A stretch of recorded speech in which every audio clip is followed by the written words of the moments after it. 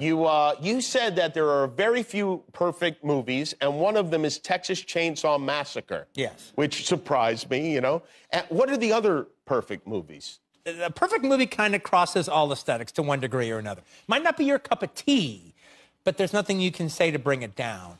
And uh, I think Jaws fits into that. Mm-hmm.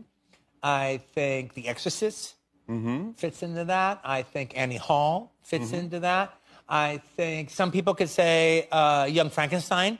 Fits I would into say that, Yeah, yeah, yeah. I can understand that. I can understand thinking that. Yeah. Uh, you know, uh, I could say The Wild Bunch fits into that. All right, and that's not even not a perfect movie. That's not perfect. That its imperfections are part of its glory.